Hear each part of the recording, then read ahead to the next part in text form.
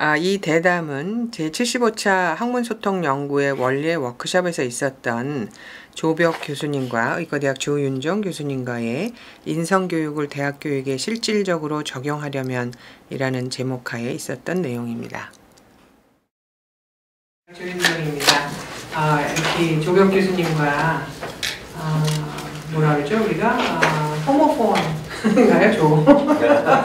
네, 보는 다른 에, 그런 두 분이 앉아서 제가 평소에 궁금했던 걸 얘기해 보기로 했습니다. 우선 1부에서는 어, 제가 이해한 거에 의하면 individual level에서의 인성을 어떻게 할 것인가 결국은 이제 어, 본인 수신제가 치국 평천하라는 그런 어, 그런 개념에 맞게 본인 가족 사회 국가라는 단위가 커지면서 인성에 대한 어, 스스로의 교육을 했다 그러면 이제 대학에서는 institutional level에서는 어떻게 할 것인가에 대한 거를 구체적으로 이제 실행하는 전략이라든가 그런 거에 대해서 여쭤보도록 했습니다. 우선 대학이 구성되어 있는 게 이제 어, 대학이라는 게 워낙 그 연구하고 싶은 사람들이 모여서 하던 것 academia에서 이루어진 거기 때문에 교수가 먼저겠지만 교수는 항상 책무가 먼저이기 때문에 학생 교육의 관점에서 여쭤보도록 하겠습니다. 우리가 다 알지만 아까도 말씀하셨듯이 knowing is one thing and doing is another라고 아마 중학교인지 고등학교인지 간에 다 아, 이런 문장을 외웠던 것 같아요. 근데 실제로 그 뜻을 아는 데는 수십 년이 걸린 것 같습니다. 개인적으로는 그래서 어, 대학 교육에 있어서 그 자체와 대학 교육이라는 거하고 인성이라는 주제에 대해서 우선 여쭤보도록 하겠습니다. 이제 우리가 대학 교육을 하면 초반에 에, 교양 과목 어, 강좌가 주로 이루어지고 이제 학년이 올라가면서 전공 과목에 이렇게 에, 접하게 되는 그런 과정으로 구성되어 있는데 아, 아까 선생님께서 말씀하신 social emotional skill이라고 그러셨나요? 그 네. 제가 아, 약자를 써왔더니만 금방 잊어본 것 같습니다. SS를 키울 수 있는 인성 교육을 이제 대개 대학에서 아마도 또 교양 강좌로 구성을 한다면 이제 많은 부분이 어느 정도 있을 것 같습니다. 저는 뭐 사실 80학번이라 한 달도 안 온 기억이 나는데요. 그래도 학년을 올려줘서 정의는 어디 갔나 그때 궁금했어요. 단체가 다 어, skip하면 학년이 저절로 올라간다는 그런 경험을 했기 때문에 교양 강좌를 얼마나 들었는지 기억도 안 납니다. 솔직히 얘기해서. 근데 이제 굉장히 많은 것 같아요, 지금. 아, 어떻게 구성하는 게 효과적일지. 아, 그런데 이제 그 국내 대학에서 이루어지는 인성교육 함양을 위한 이런 social, emotional skill에 대한 강좌가 있는지 그런 거에 대해서 좀 여쭤보고 싶습니다. 먼저 그 제가 강의할 때는 SES라는 단어를 전혀 언급을 하지 않았어요. 이 어, 글에는 이제 적혀져 있는데요. 그게 뭐냐면 어, 사회 정서적 역량 해서 어, 지금 제가 말씀드렸던 자기의 감정 정서를 알아차리고 어, 그것이 이제 부정성에서 긍정성으로 이동할 수 있는 능력을 갖추고 또 나의 정서만이 아니라 상대방의 감정을 고려하는 소통의 기술, 관계의 기술 어, 이런 것들을 통틀어서 사회 정서적 역량이라고 해요. Social Emotional Skills. 아, 그러니까 이것은 창의성과 인성의 가장 기본되는 그 기술들이에요, 기술.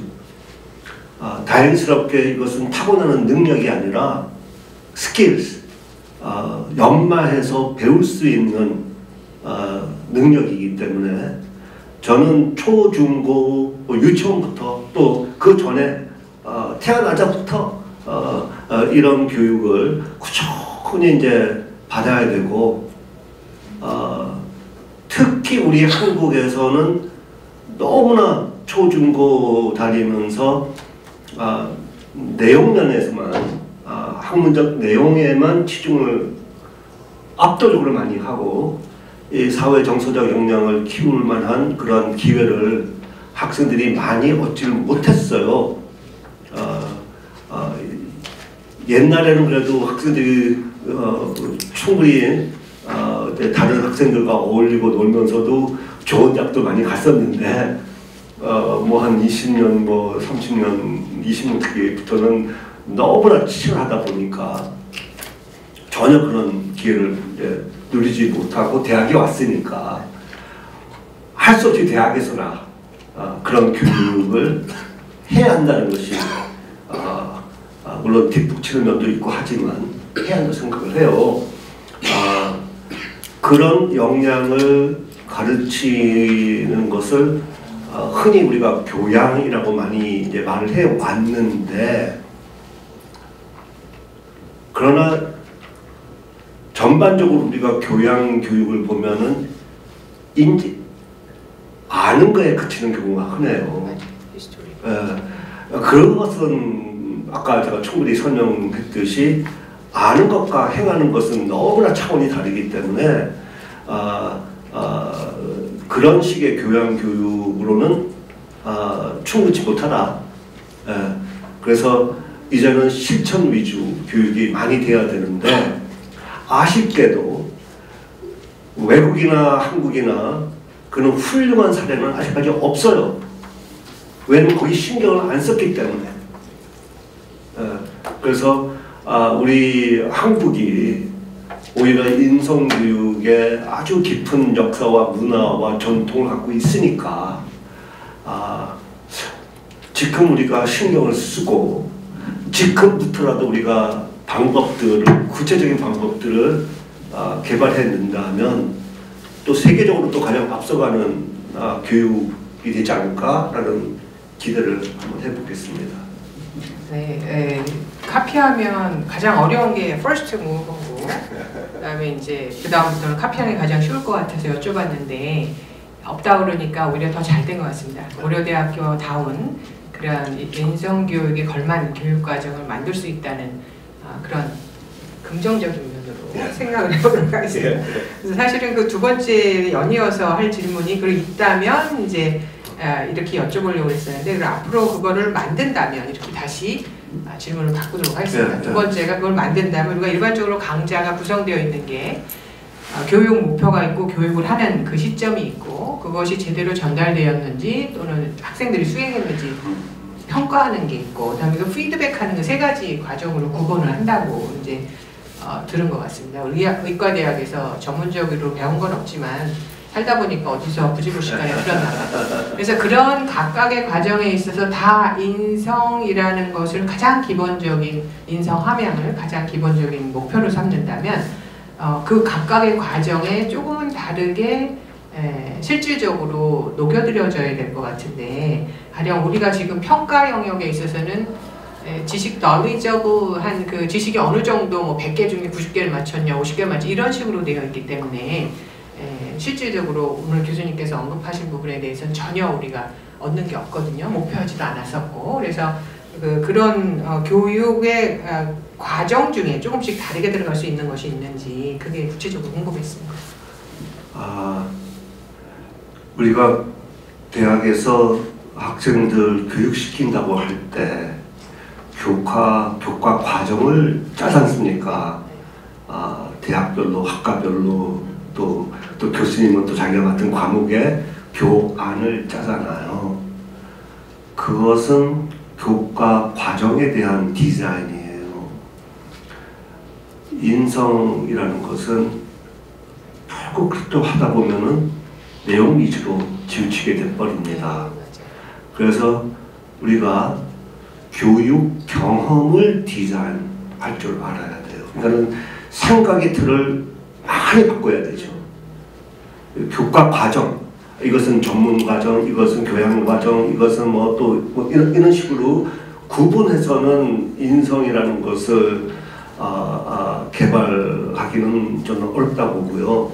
그래서 교육 경험을 디자인한다. 그게 무슨 말이냐면 신입생이 고대라는 고대 들어오는 첫날 그 순간부터 졸업하는 날 마지막으로 떠나는 날까지의 그 경험을 우리는 디자인하지 않거든요. 부분적으로 행사 위주로 할 뿐이지 그게 학생들로 하여금 어떤 임팩트를 주고 어떤 교훈을 주고 어떤 의식의 변화를 주고 어떤 행동의 변화를 줄 것인가를 우리가 분석하고 거기에 기획해가지고 하나의 인티그레이티드한 경험으로 만들어내지 못해요.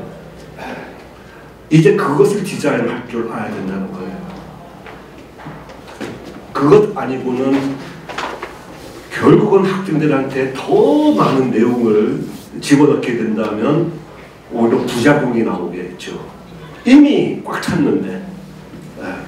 그러면 또 교수님들 사이에는 내 과목 빼지 말고 예, 예, 결국은 또 어, 많은 갈등이 야기되고요. 그래서 어, 교과 과정에서 벗어나서 교육 경험이라는 개념을 도입을 해서 거기에 대한 디자인하는 어, 어, 능력과 그 고려를 해야 된다. 어, 거기에 대해서 좀 더 좀 더 자세히 네. 말씀드릴게요. 네, 그래서 교 제가 여쭤보고 싶었던 건 사실 교양 과목이라 저건 전체적인 커리큘럼이 있으니까 교양 과목이라는 것과 전공 과목 모두 다 선생님 말씀하신 인성 교육이 배어 들어가져서 어, 진행이 됐으면 좋겠다는 생각이고요. 그리고 그 네. 추가로 네. 추가로 네. 그는 교육 경험도 디자인하지만 네, 네, 실제로 최고의 교육은 네, 교수님들께서 학생들과의 만나는 매 순간이 인성교육의 기회죠. 네, 맞죠. 왜냐면은 우리 한국의 속담에 아주 좋은 말이 있어요. 학생 아이들한테 말로 가르치면 아이들이 따지고 행동으로 보여주면은 따른다는 말이 있어요. 그래서 어, 결국 인성교육의 최고의 교육 방법은 모델링이다. 어, 모범을 보이고 모델링 해주고 멘토가 되어주는 것.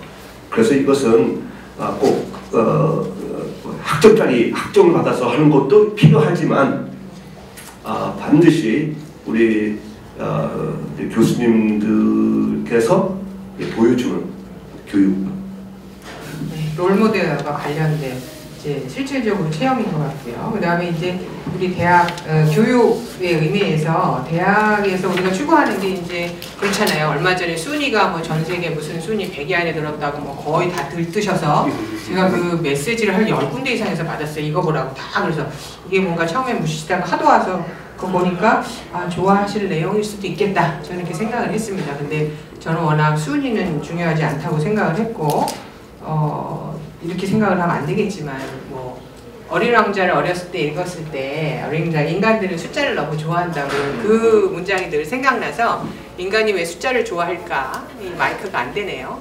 그래서 뭐 그런 생각도 그렇지만 그래도 이제 대학에서 추구하는 것이 수월성 어, 학생들도 그렇고 교수들도 그렇고 뭐 전체 논문을 써도 impact factor 높은 거 쓰고 또 citation 되는 인덱스를 보고 어느 교수가 어떻게 됐다 피드백을 다 주고 딱 보고 앉아서 이제 경영진이 어느 교수는 잘하고 어느 교수는 못하고 연구에서 그렇게 하고 또 진료에서 어느 교수 수입이 한 달에 뭐 몇백억인지 몇십억인지 뭐 이 사람 인센티브를 천만 원을 줄 건가 오십만 원을 줄 건가 이렇게 다 평가되는 세상에 살고 있는데 대학이 정말 우리 대학이 그 자유정의 진리 추구이라는 그런 순수한 그런 가치관만 추구하는 것은 현실에서는 아니거든요. 그래서 대학이 또 수월성을 추구하지 않으면 어, 또 다른 경쟁하는 대학과 또 밀리고 신촌에 있는 그 훌륭한 대학보다 못하다는 그런 생각을 또 들기도 하고 또 어떤 부분은 좋기도 하지만 그래서 수월성 추구와 인성 교육이 같이 이렇게 갈 수 있는 어, 이제 그게 뭐 완전히 인성만 추구하다가는 수월성이 안 된다 이런 컨셉이 아니라 아, 같이 갈 수 있는 영역이 있고 또 갈라지는 영역이 있을 때 우린 아, 대학 차원에서 수월성 추구도 하면서 인성도 좋게 할 수 있는 방법은 없는가 이런 생각이 들고 그게 아주 extreme하게 나타난 미국 드라마가 있잖아요. 그 뭐죠? The Big Bang Theory인가요? 그 nerd들 네 명의 nerd들이 모여서 나오는 그 재밌는 내용이 있는데 그 친구들은 그래도 인간적인 측면을 서로 양보하고 한- 굉장히 극심한 쉘던의 그런 extreme behavior하고 그런 행동을 다 사랑으로 어, 어우러주고 친구로서 받아주고 하는 그런 좀 드라마, 실제 드라마긴 문제, 현실에서 있을까 하는 그런 거지만 실질적으로 또 그렇게 nerd한 성격을 지닌 사람들이 굉장히 수월성을 보이는 실례도 좀 있거든요. 그래서 그것을 대학 차원에서 수월성 추구와 인성 교육을 같이 할 수 있는 어, 또 아니면 그게 그렇게 성공적으로 인성 교육 아직 못했다고 해서 아마 없을 수 있을 것 같지만 어, 두 개가 같이 이렇게 양립해서 갈 수 있는 방안에 대한 생각이 있으신지 듣고 싶습니다. 아 글쎄요 그 저의 생각은 아, 아, 그, 그 지금 그 언급하신 그런 구도, 아, 수월성과 인성, 뭐 이렇게 전문성과 인성, 실력과 인성 이렇게 구분하는 것에서 완전히 벗어나야만 된다고 생각을 하기 때문에 아, 예를 들면은 음, 우리 한국서는 아, 이런 말을 제가 든 적이 있어요. 아, 실력이 없으면 인성이라도 좋아야지. 아, 그러니까는 인성은 실력이 아니다. 아, 그게 첫 번째 메시지잖아요. 두 번째는 인성은 그러니까 실력이 없을 때나 필요한 거다. 음?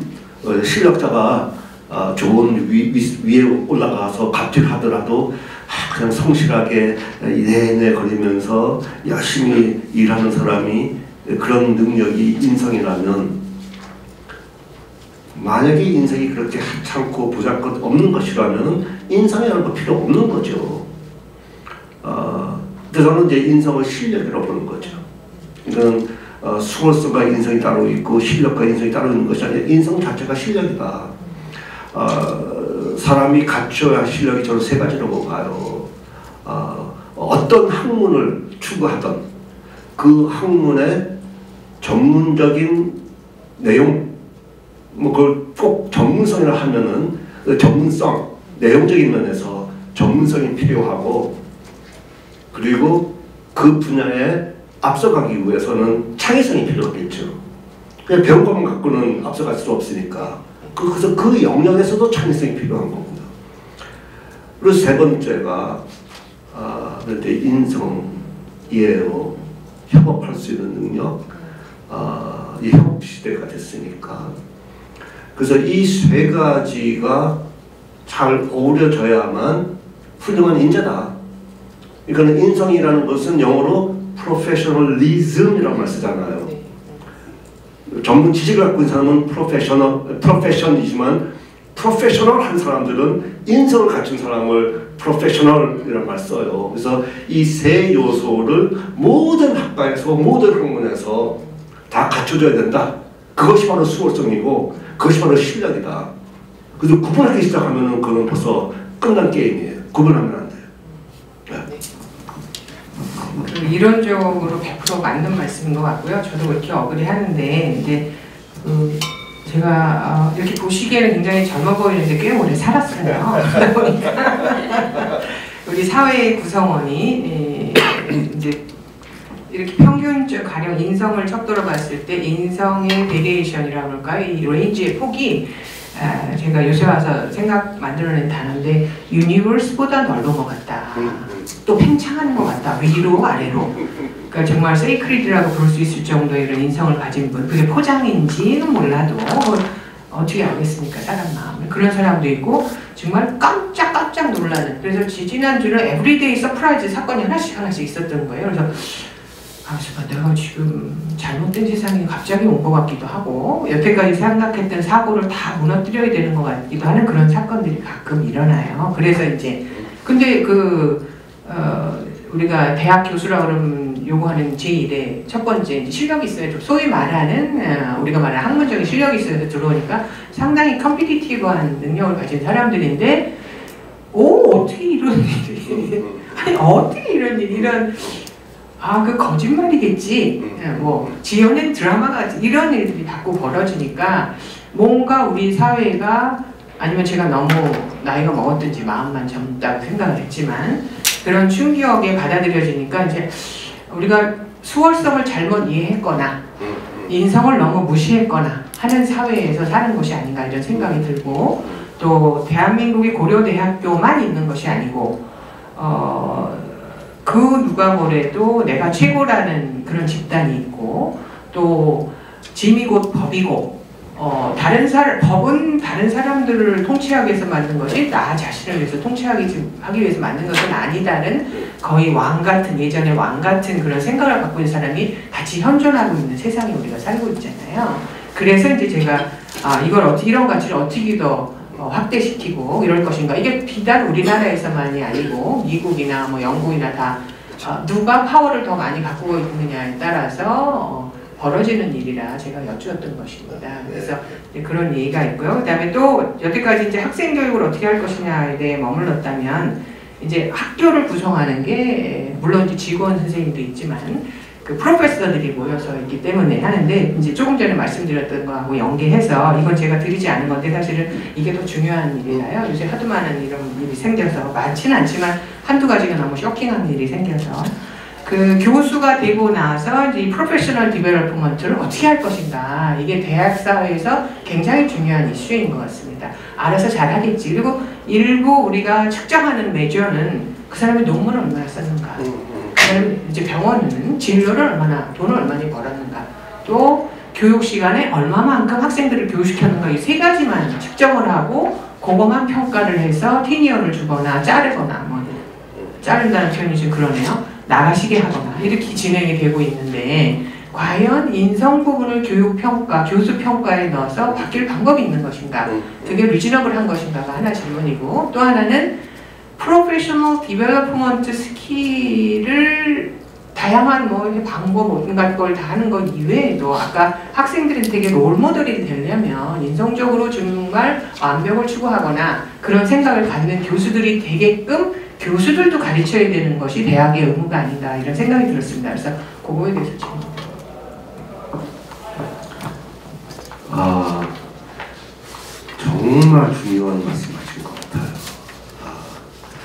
대학이 굉장히 오랫동안 아 이제 교, 특히 이제 좋은 대학일수록 아, 교수를 선발하고 그리고 테너라는 제도를 가지고 엄청나게 평가를 하지 않습니까? 네. 그러다가 보니까는 미국 대학 사회, 교수 사회가 골병이 되기 시작을 해요. 아, 그래서 90년대 들어오면서 미국의 경우 생각의 틀을 좀 바뀌기 시작했어요. 전에는 Faculty Evaluation Committee라고 했어요. 소위 테너 심사하는 커미티를 채용을 해놓고 sink or swim. 네가 물에 빠지지 않으면 혼자 네가 알아서 수영해. 그래서 수영 잘하는 사람들과 그 논문서라든지 등등 연구비 따오는 거 등등 갖고 딱 이제 테너를 주고 어뭐 높 좋은 대학일수록 많은 사람들이 이제 어, 나가잖아요. 그러면 그 개인한테도 엄청나게 마이너스고 어, 사기가 떨어지는 것뿐만 아니라 자기가 인생을 6년간 투자한 대학에 나간다는 거 대학에서도 그 사람을 6년간 이렇게 있었다가 나가는 것도 그 손실 다 손실이에요. 그래서 그, 그 테녀 그, 그 평가라는 개념을 바꾸기 시작합니다.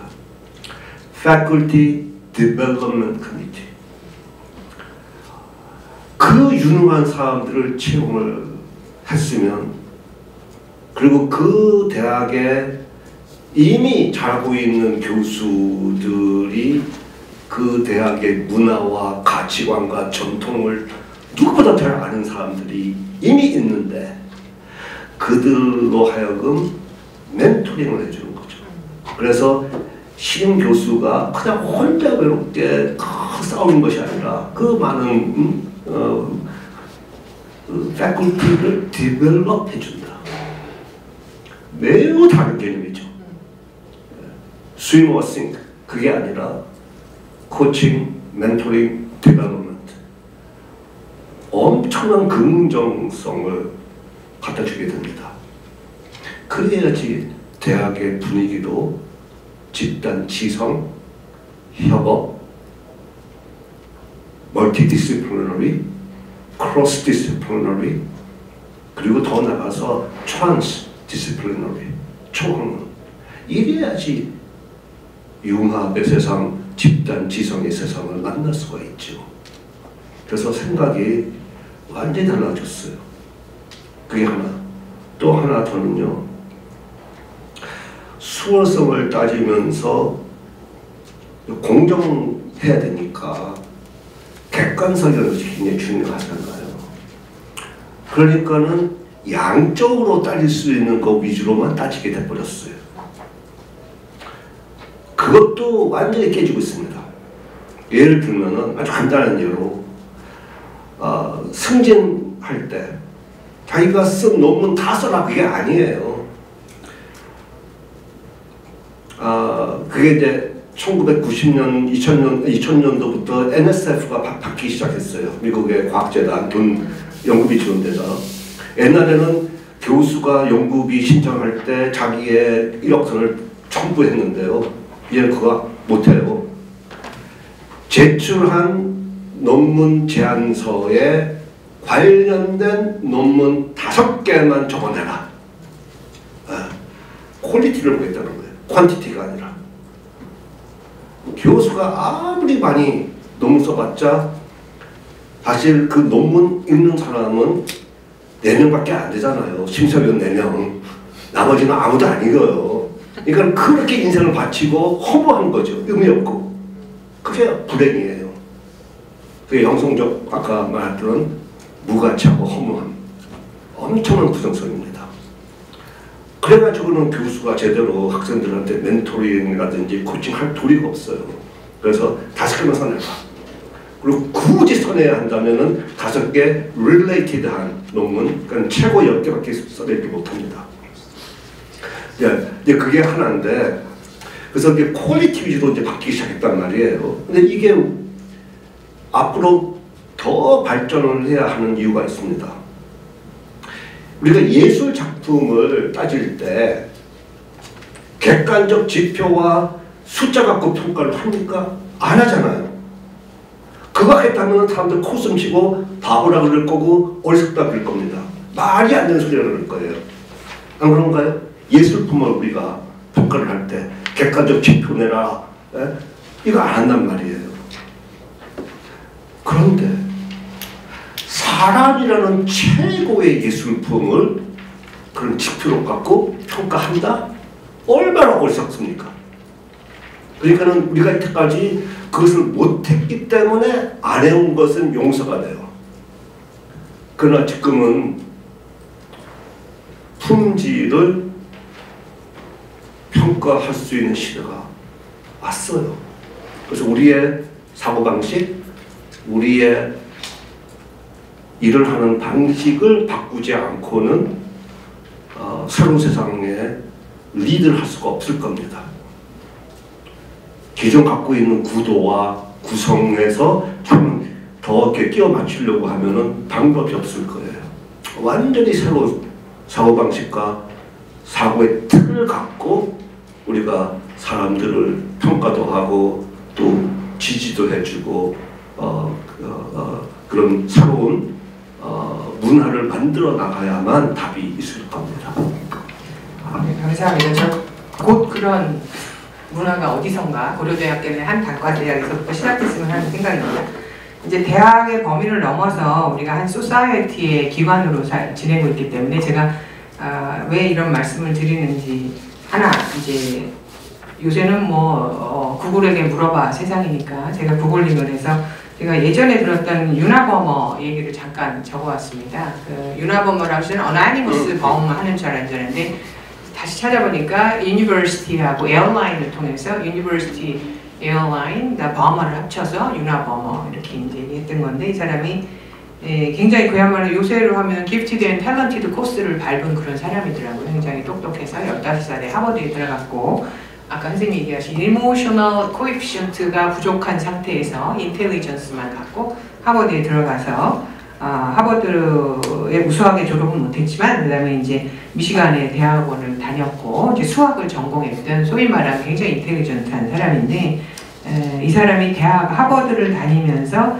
헨리 머레이 교수가 수행한 어, MK 울트라라는 익스페리먼트의 대상자로 들어가면서 굉장히 고의적으로 잔인하게 심리적인 압박을 뭐 300시간 정도 받은 그런 트라우마가 있었고 어, 어쨌거나 뭐 똑똑하다 그래서 평가하는 잣대, 교수의 잣대를 평가하는 굉장히 도, 어, 수월해서 그야말로 UC 버클리의 조 교수를 1967년에 에, 하이어가 돼서 2년 동안 교수로 일을 하다가 이제 사직을 하는 그런 케이스입니다. 그래서 그 이후에 거의 몇 년인가요? 한 20, 18년? 18년 동안 계속 그 폭탄을 메일로 보내서 어, 수도 수없이 많은 사상자를 내게 했고 FBI에서 그 오랜 기간 동안 잡지를 못하다가 그 사람이 낸 선언문을 어, 너네들이 공표하지 않으면 뭐 이렇게 하자고 더 많은 사상자를 내겠다고 협박을 해서 이제 그게 신문에 공표가 되고 그 글을 읽은 동생이 에, 결국은 제보를 해서 잡히게 되고 그 사람이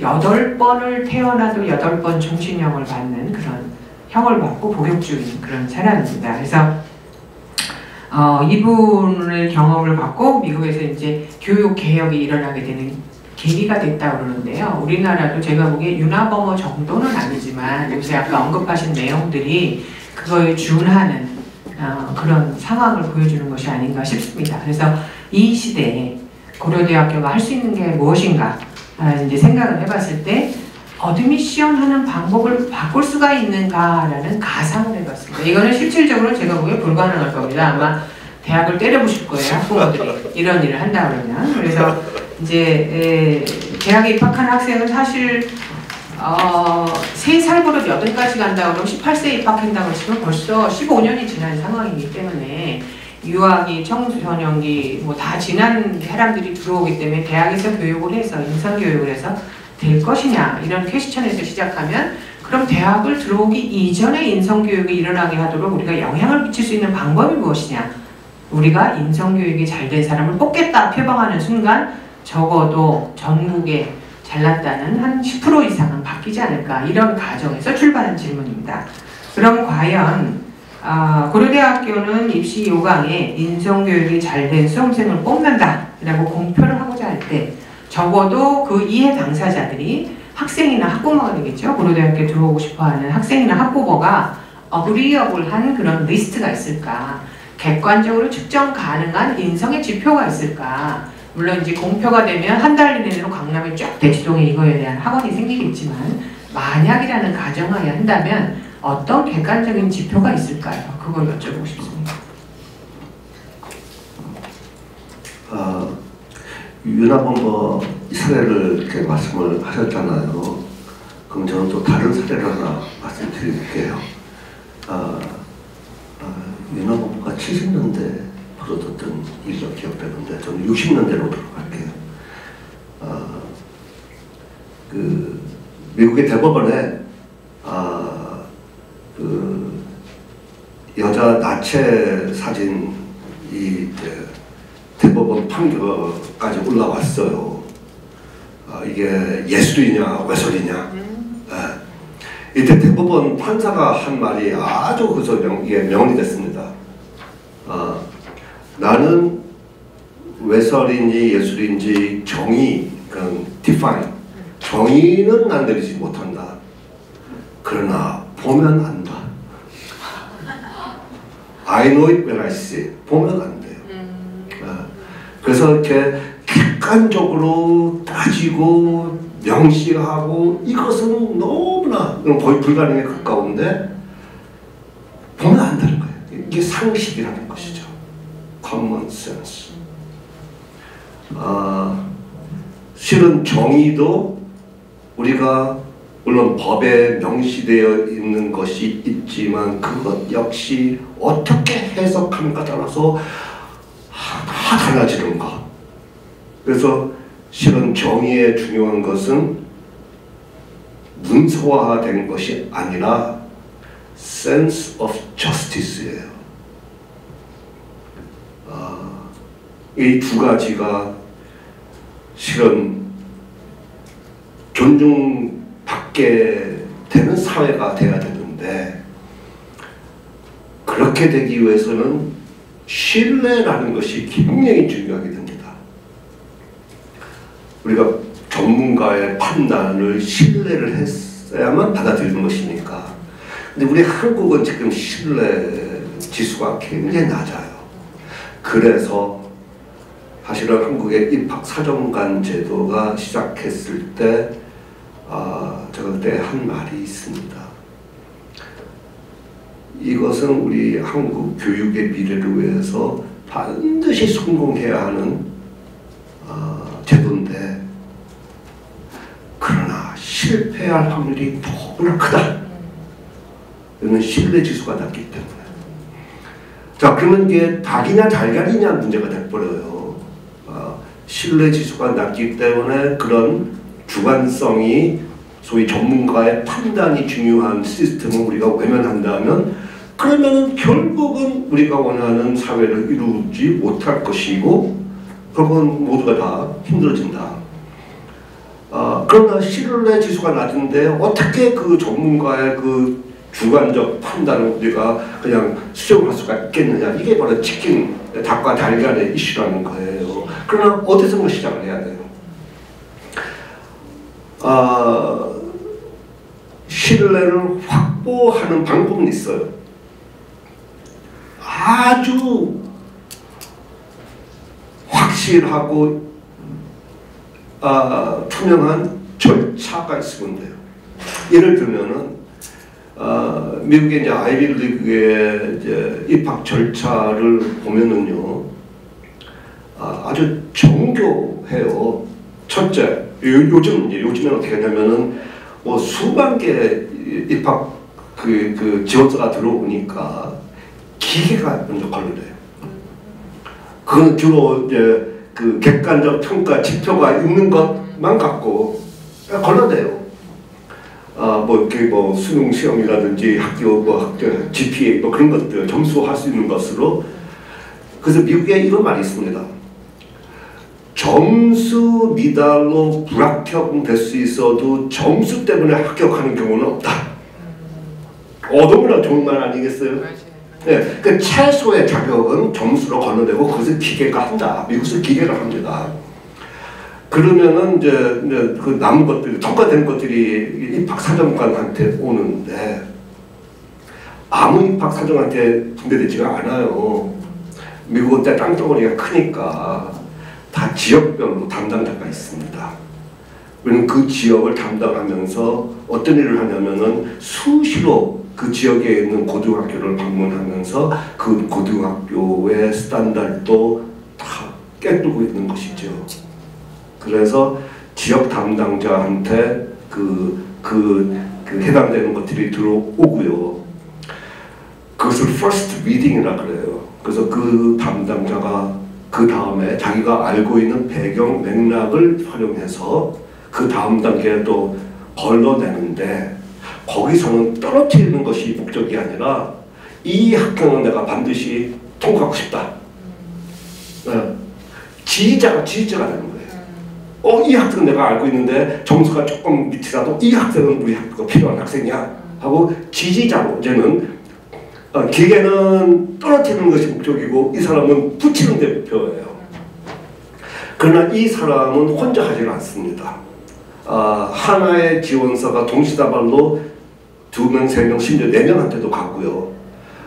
또는 순차적으로 갈 수도 있어요. 돌면서. 아, 그래서 이제 각자가 자기가 이제 선호하는 학생들이 풀이 있지 않습니까? 그러면 sub committee가 형성돼 가지고 근데 거기서는 또 대학마다 조금씩 차이가 있는데 하버드 대학 같은 경우에는 이제는 거기에 교수들이 또 개입을 해요. sub committee니까는 의대, 법대 다 다를 거 아닙니까? 어, 거기서는 뭘 하냐면 그, 그 입학 사정관들이 자기가 지지하는 학생에 대해서 왜 이 학생이 입학해야 되느냐를 설득을 하려고 해요. 그런데 그 커미티에서 다 동의하는 사람 아이들은 이제 올라가고, 어, 음, 거기서 이제 갈, 호불호가 갈리는 거예요. 그러니까 여러 명이 이제 관점으로 보는 겁니다. 입학 사정관의 관점, 또 그 학과에 소속해 있는 교수님의 관점, 네, 교수님들이 보지는 않고요. 설득할 때 그때 요약된 것만 보시는 거죠. 왜냐면 과학과마다 다 가치관이 다 다르지 않습니까? 거 그게 그게 세 번째 스텝이고요. 하나가 더 있어요. 그래서 이제 걸러져 온 풀이 있지 않습니까? 그것은 어, 정확하게 뭐 천명 뽑으면 천명만 올라오는 것이 아니라 뭐 뭐, 배수, 몇 배수가 아니라 뭐 1.2, 뭐, 뭐 저도 대학마다 다 봐드리지만 추가로 뽑잖아요. 그러면은 full committee가 이제 그거를 최종 결정을 줘요. 근데 그때는 그때는 어, 다들 이제 우수한 학생들이니까 거기서 학교 안에 밸런스를 맞추고 장학생 선발하고 하는 최종 단계예요.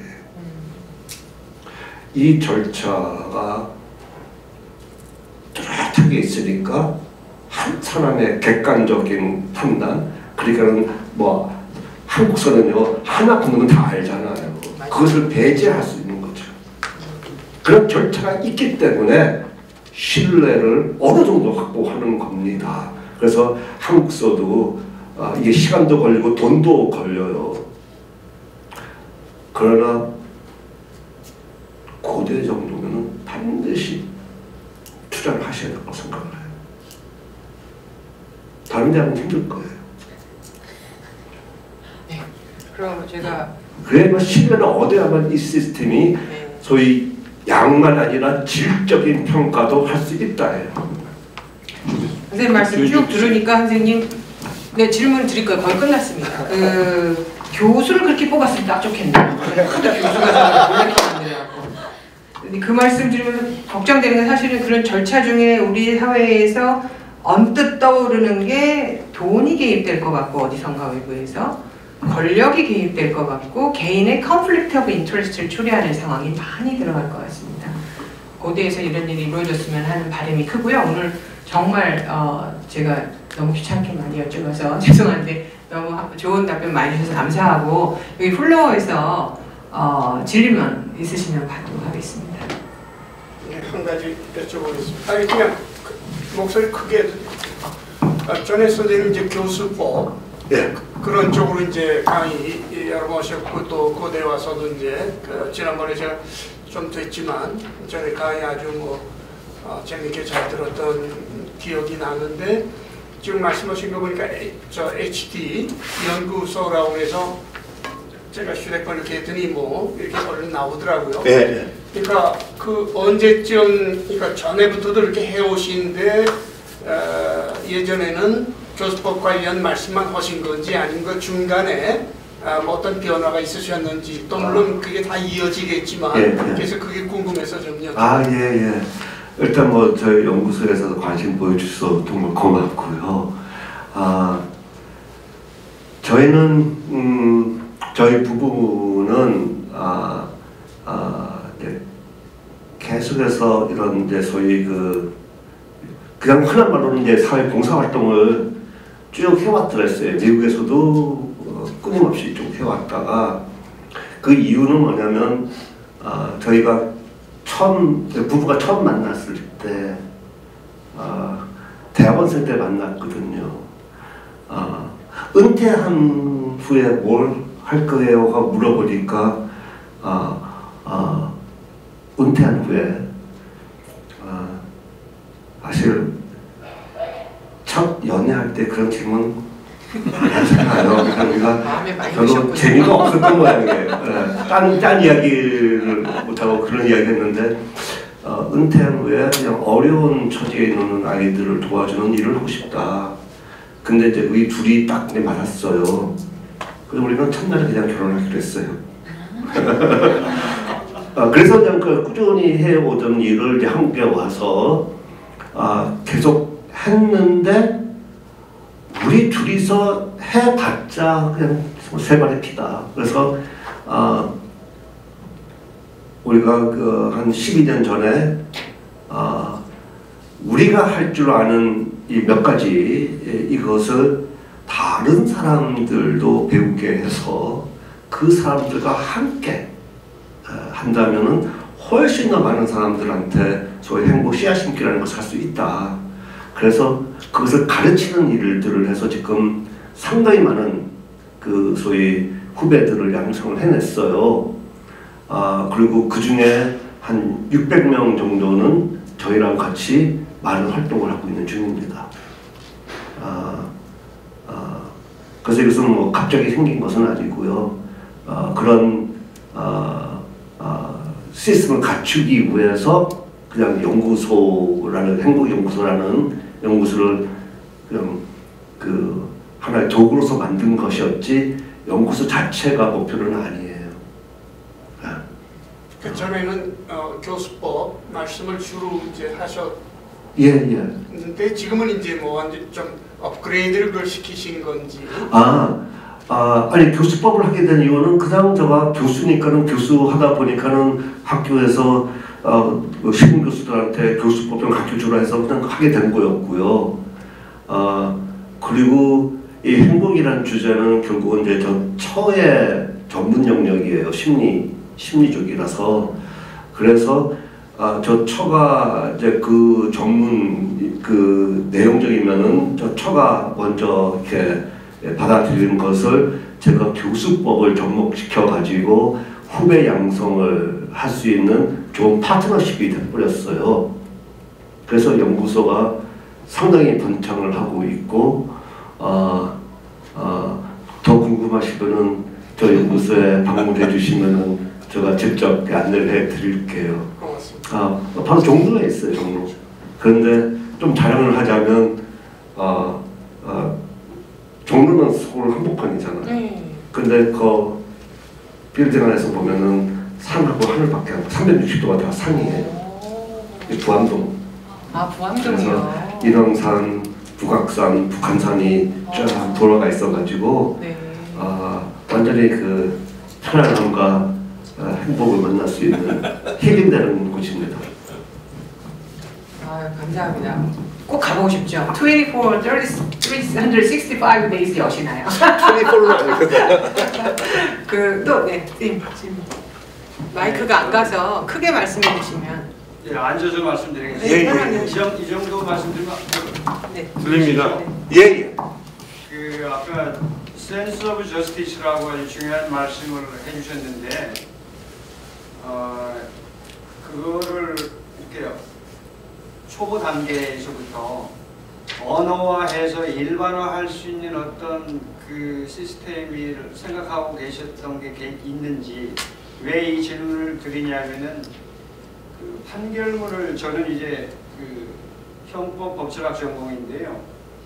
그 판결문을 작성하는 데 있어서 우리나라 사람 우리나라 법관의 그 판결문의 결과와 100% 유사한 사태는 없지만은 독일 판례와의 그 단도직입적인 이렇게 비교를 하면은 결론은 똑같이 나오는데 논리 전거, 전개 과정이 상당히 달라요. 미국 쪽은 제가 정확히 검토는 안 해봤는데. 그래서 그 이 sense of justice라는 건 상당히 중요하고 누구나 감지를 할 수 있는데 그거를 결국은 판결문에서 어, 하려면은 표현을 하려면 그걸 어, 축적이 돼야 하는데 음, 음, 음. 그거를 조금 이렇게 생각해 본 적이 있는, 있는지 저는 그래서 이제 제가 공부한 그 논문에 일단이 그 판결문도 하나의 장르가 돼야 되겠다. 음, 음, 그래서 이제 그거를 연구하고 있는 한번 좀 말씀해 주실 예. 좋겠습니다.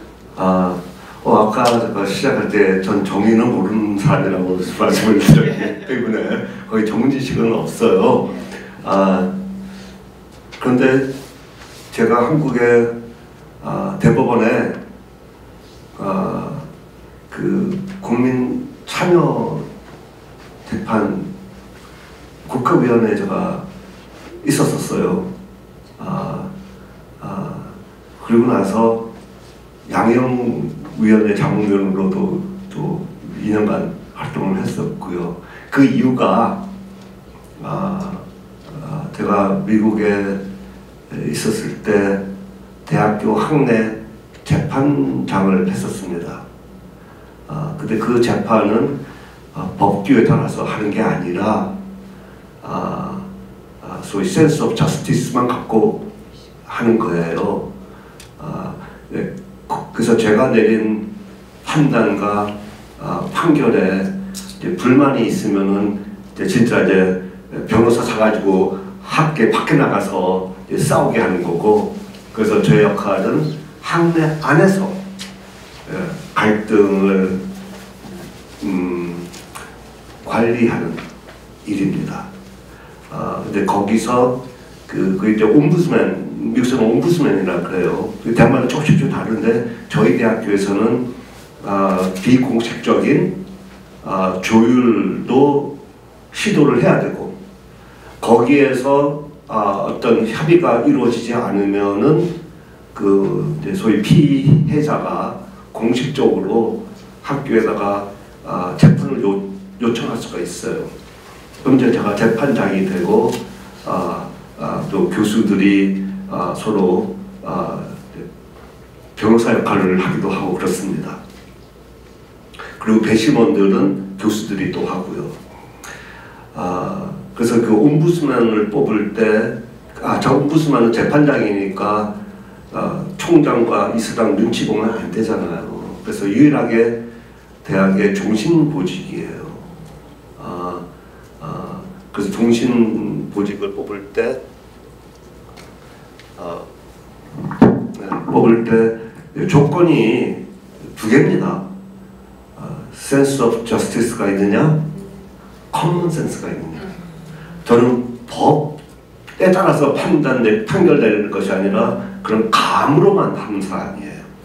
감으로 하기 때문에 아, 그것을 구체화하거나 아, 문서화할 도리가 없는 것이죠.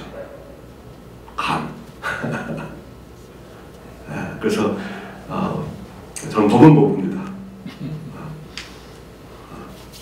그리고 sense of justice가 구체적으로 뭔지도 말하기도 어렵습니다. 그냥 감으로 때리는 겁니다. 제 생각에는요, 그 제가 이제 영어를 이렇게 좀 많이 이제 그동안 다뤄왔고 영어 그 좀좀더 크게 말씀해 주시면 고맙- 쪽에 그쪽에 일을 좀 많이 하다 보니까 이 센스라는 게 굉장히 포괄적인 의미로 그 emotional 정서 감정뿐만이 아니라 intelligence도 포함되어 있는 걸로 저는 생각을 하거든요. 그 영어에서도 그렇게 영- 영어? 네, 영어, 영어, 영어. 영어, 예. 영어 문서에서 예.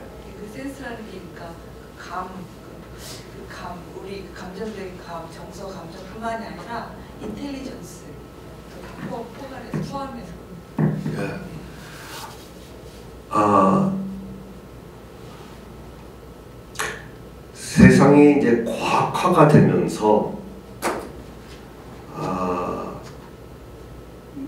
어, 과학이라는 것이 어, 객관적으로 이렇게 관찰하고 또 다른 사람이 똑같은 음, 것을 볼 수 있는 거잖아요. 그게 과학이잖아요. 그러다 보니까 인간의 인텔리전스를 인지적인 면에다가만 국한시켰습니다. 오랫동안. 특히 이제 그것을 아예 지표로 만든 것이 1902년도 비넷 IQ가 어, 첫 지능의 객관적인 지표로 등장했잖아요.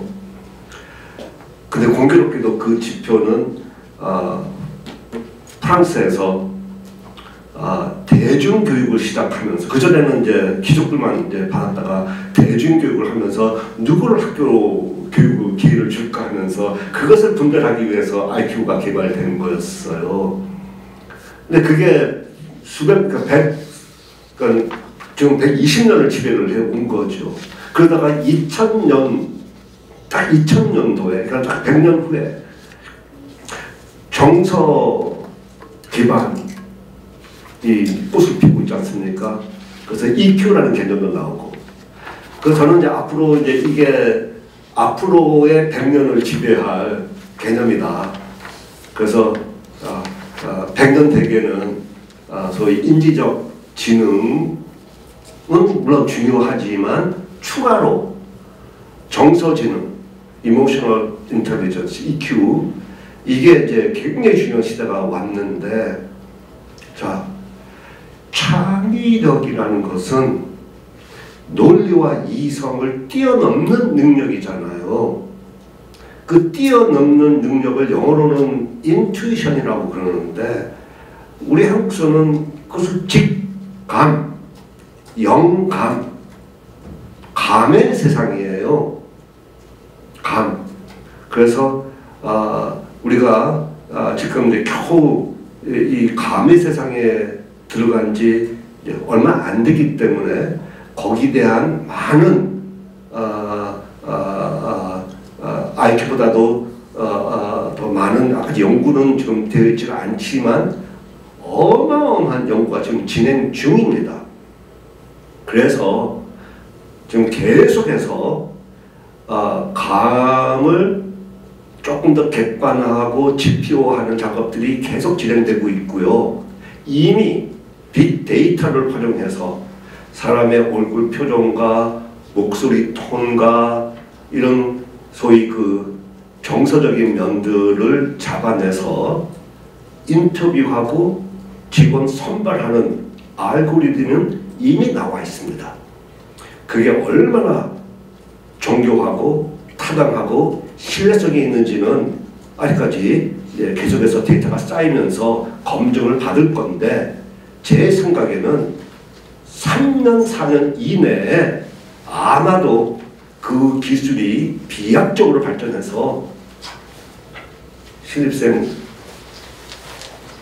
면담 대신 인공지능 면담으로 학생 선발할 수 있는 정도의 신뢰성과 타당성이 확보될 거라고 좀 봐요.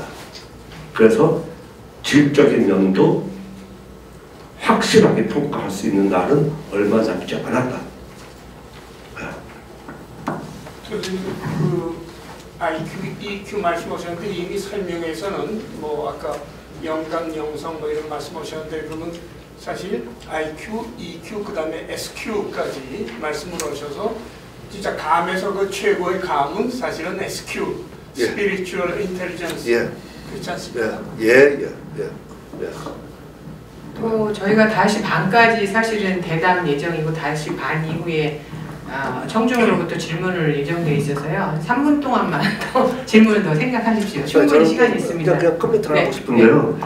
우리가 지금 많은 혁신을 해야 하는 시대가 왔잖아요.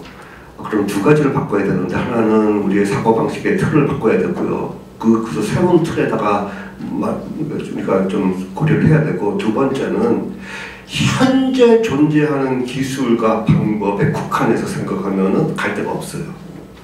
그래서 앞으로 개발될 수밖에 없는 그 필연적으로 개발될 수밖에 없는 그 방법과 기술을 믿고 그것이 개발될 것이라는 것을 믿고 지금 시작하셔야 돼요. 그게 다 개발되고 난 다음에 우리 시작하면 결국은 fast, follow밖에 안 되는 거죠. first mover는 될 수가 없어요. 네, 그래서 어, 어, 저는 이렇게 생각해요. 내가 어떠한 미래를 생각하고 그 미래는 반드시 필요한 미래다. 예를 들면은 정의가 있는 미래, 도덕이 있는 미래, 많은 사람들이 행복한 미래. 그러면 그 미래를 이루기 위해서 반드시 필요한 것들이 있잖아요. 그 필요한 것들을 평가하고 결정하고 그것을 도입할 수 있는 기술들은 반드시 개, 개발될 것이다. 예. 물론 시기가 뭐 1년, 2년, 10년 그것은 이제 어, 사람마다 다 다르게 판단이 되겠죠. 어, 그러나 그것을 믿고 지금부터 마스터 플랜을 세우고 시작을 해야지 존재하고 있는 것만 갖고는 뒤꿈치고 따라갈 수밖에 없는 입장이 올 거라는 거 말씀드리겠습니다. 교수님 말씀하신 그 AI를 이용한 면접은 실제로 기업에서 현재 진행되고 있어서 예. 기업에서만 저러나 보다 그랬는데 말씀 듣고 보니까 우리 입학처장님께서 연구를 좀 길게 받으셔서 학생들 다 인터뷰하고 동의 받아서 하는 것도 괜찮을 것 같고 교수도 마찬가지일 것 같아요 선생님. 네. 네, 저는 방금 조윤정 교수님 말씀하신 거에 대해서 되게 좀 어, 그 우려를 표명하고 싶은데요. 조벽 교수님이 말씀하신 걸 반복했습니다. 그러니까 이거 인공지능과 뭐 빅데이터 이런 게 마케팅에서 활용이 되면 어, 예를 들어서 뭐 1억 뭐 20, 30대의 남자 뭐, 뭐 대학생 뭐 이런 사람들은 뭐를 좋아하더라 해가지고 그걸 광고를 그 사람들한테 주면은 큰 문제가 없는데 근데 뭐 학생을 뽑는다든지 교수를 뽑는데 AI를 이용해가지고 아 이러이러한 특징이 있는 사람들은 어, 뭐 인성이 안 좋다더라 뭐거나 뭐 이런 뭐, 뭐 그런 데이터가 있다라고 해서 너는 안 돼 그러면 그게 과연 사람들이 공정하다고 받아들일까 그리고 과연 논리적인 연관성이 없고 그냥 큰 상관관계만 보이는 건데 그게 우연히 뭐 그렇게 된 것일 수도 있는 데이터를 가지고 어, 한 사람의 운명을 좌지우지하는 이런 일이 발생하면 그 공정하다고 받아들일 수 있을까? 전 전적으로 동의해요. 심리학 베이스. 네, 전적으로 동의해요. 그래서 아까 아, 이런 일들은 아직까지 신뢰성과 타당성이 입증된 것은 아니다. 그러나 시도는 지금 엄청나게 돼가고 있고 그래서 선생님께서 말씀하셨듯이 심리학 뭐 저보다 뭐 저- 전문가시니까 에, 심리학이 그 과학으로 시- 예, 사회 과학으로 들어온 것이 1870년밖에 안 되잖아요. 그러니까는 그 당시에는 과학이라는 것은 behavior 그래서 비헤비어리즘이 심리학이 제일 먼저 들어왔고 그 다음에 70년대 들어가면서 컴퓨터 때문에 인지 쪽이 과학화되면서 인간의 인지가 연구의 대상이 됐고요. 그리고 2000년대 들어오면서 소위 positive psychology 하면서 정서가 아, 과학의 경지로 들어왔어요. 그러나 선생님께서 말씀하셨듯이 분명히 다음 단계로 들어올 심리학이 들어올 단계가 spiritual 그, 그 영성의 영역이다. 근데 아직까지 그는 어, 그러나 그것을 지금 과학적으로 연구하는 단체들은 있습니다. 아, 그러나 이, 영, 이 기술의 발전이 어마어마하게 좀 빠르기 때문에 저는 이렇게 멀리 내다 보지를 않아요. 어, 어, 어, 지금으로서는 기계가 빅데이터를 활용해가지고 사람을 면접해서 이게 건너내는 것도 역시 매우 위험하고 어리석다고 생각을 해요. 한계가 분명히 있을 거고 인간의 감을 기계가 도저히 따라가지 못할 것이다. 한동안은 아 그런데 초보 걸러내는 작업 그거는 충분히 할 수 있다.